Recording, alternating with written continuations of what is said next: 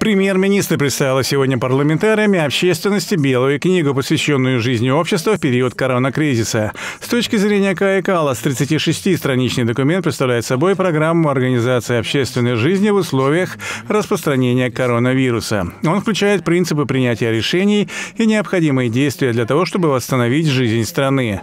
Премьер напомнила, что общество живет в условиях коронакризиса уже более года, и настала пора вернуть в свои руки контроль над происходящим. К настоящему времени для этого есть все предпосылки. Об этом говорит и статистика.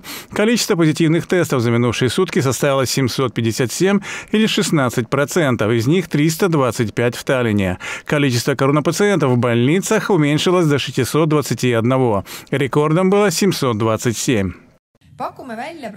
Мы предлагаем практическое и простое решение, которым будет управлять государство, но которое будет выработано в результате работы всего общества и при его ответственности. Мы сегодня начинаем дискуссию со всем обществом, прежде всего с фракциями парламента. Я знаю, что документ еще не изучен, он только что стал доступен всем. Он должен стать начальным пунктом обсуждения и во фракциях. Я хочу выслушать ваши предложения, мнения и учесть их при составлении итогового документа.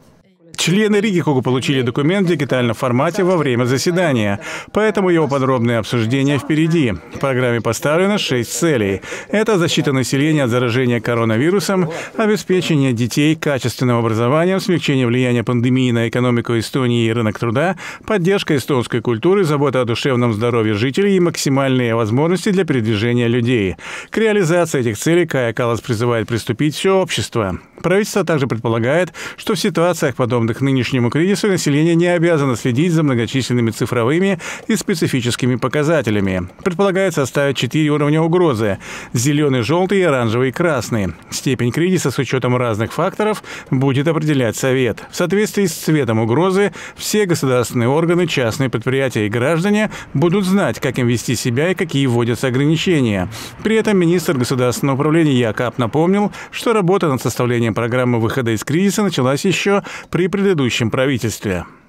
Коронавирусной повестки правительства сегодня был главным пункт об общественном соглашении по борьбе с коронавирусом или «Белая книга». На самом деле, стратегию выхода из кризиса мы начали разрабатывать еще минувшей осенью. Некоторые министерства успели представить свои программы. Новое правительство продолжило работу с первых дней. Теперь программа выходит на открытое обсуждение и будет представлена в Риге Когу. В ней предлагаются меры выхода из кризиса и пандемии на близкую дальнюю перспективу. Мы задумываемся и о том, когда и как можно будет открывать общество. Якоб также призвал всех желающих прикнуть к обсуждению программы и представить свои предложения до следующей пятницы. 22 апреля правительство планирует ее утвердить. На следующей неделе правительство собирается составить еще один документ, который вызовет не меньший интерес, а именно программа ослабления ограничительных мер. В ней будут предусмотрены меры ограничения, которые Кабинет министров предполагает оставить или отменить для торговли, обслуживания деятельности по интересам образования, публичных собраний при разных уровнях рисков и распространения вируса. Как заявил министр Танель Кик, также изменения будут внесены и в программу вакцинации, причем в сторону большего охвата населения. Несмотря на сложности с поставками вакцины, государство рассчитывает к концу месяца привить не менее 70% жителей страны в возрасте 70+. Далее фокус попадет в следующая возрастная категория – от 60 до 70 лет и, наконец, к концу второго квартала все желающие могли бы получить хотя бы одну дозу вакцины к концу лета обе.